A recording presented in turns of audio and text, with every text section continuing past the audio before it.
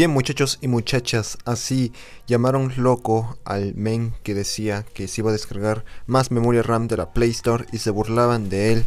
Pues hoy él se ríe de ustedes, bueno, de los que se burlaron. Yo por suerte nunca fui muy burlón, entonces le dije, claro que sí, amiguito, en un futuro se podrá hacer realidad. Yo no fui el vato que decía que iba a descargar memoria RAM porque no lo creía. Eso es verdad. Eso es verdad. Eso es verdad. Pero bueno, Xiaomi, eh, aparte de que, bueno, tiene un poco ya de mala fama con sus actualizaciones, está haciendo cosas buenas también. Y es esto, tal vez ya se lo sepan, ya lo han este, mencionado en otros canales probablemente.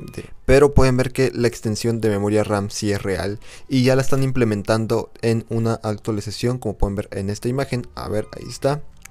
Vean nada más que la memoria eh, es memoria RAM virtual. Bueno, este, bueno, así se llamaría virtual porque lo que haría, a ver, un momento, que se callen acá afuera. Bueno, lo que sería es que se tomaría parte... Oh, qué canción, aguanten. Bueno, como les decía, se tomaría parte del almacenamiento interno del dispositivo y eh, se ocuparía como, eh, bueno, se pasaría a una eh, extensión de memoria RAM. Aquí como pueden ver en la imagen solo se pueden agregar hasta 3 GB de RAM desde almacenamiento interno.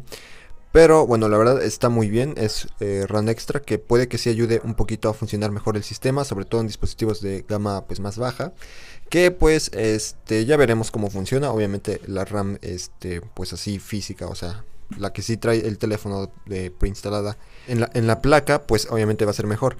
Pero pues sí ayudaría esta eh, extensión de memoria RAM. Bueno, pueden ver que aquí la función para expandir la memoria RAM ya está en línea, o sea que ya está funcionando. Y pues, este, ocupando el almacenamiento interno, esto ya se los mencioné.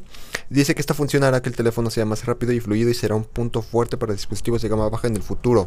Ahí está, es lo que les mencionaba, que puede que sea más eh, útil para dispositivos de gama baja, que pues eh, sufren de alguna lentitud eh, o cargas de aplicaciones, por ejemplo. Y bueno, también aquí nos dice los dispositivos compatibles actualmente, pues dispositivos flagship, o sea, gamas altas, Snapdragon 888, 870 y 865.